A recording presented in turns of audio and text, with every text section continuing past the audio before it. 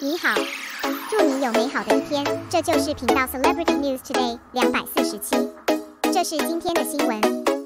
There are hot searches every day, and celebrities come and go. However, there has been no news for the man who was frequently on the hot search before. And that man is Xiao Zhan, who used to be on the hot search. During that time, when he updated news and posted a photo, he would be on the hot search list, but he was the number one on the hot search list. Sometimes he can be on several hot searches a day, so he is ridiculed by netizens. Hot searches are Xiao Zhan's home. There are advantages and disadvantages to always being on the hot search.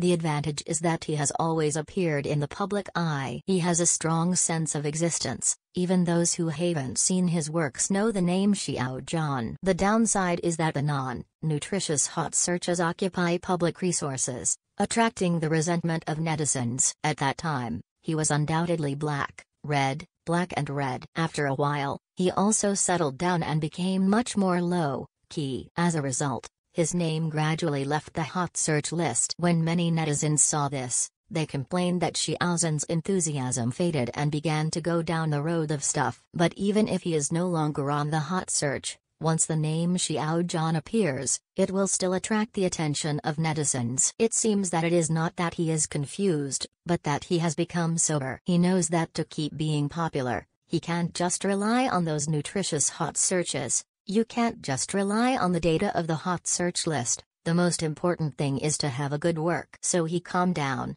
began to look for good scripts, began to play good roles, start trying out some challenging characters. He focused on polishing and improving his acting skills, and no longer obsessed with those nutritious data. Therefore, the name Xiao Zhan did not appear on the hot search list for a long time. Netizens said that he seemed to have disappeared, but he was actually filming seriously in the crew. There is a strange situation in today's entertainment industry. Celebrities who are often searched are considered very popular by netizens. And low, key stars who don't like to brush their presence are ridiculed by the group as paste. Is it possible to decide whether to be popular or not to rely on that list? But for stars like Brigitte Lin, Gong Li, Chow Yun, Fat, etc. who are not very searched, it is still the existence of long red in the entertainment industry. Now is the internet age, any bells and whistles of the stars will be put on the internet. Because of this, some stars started to do things,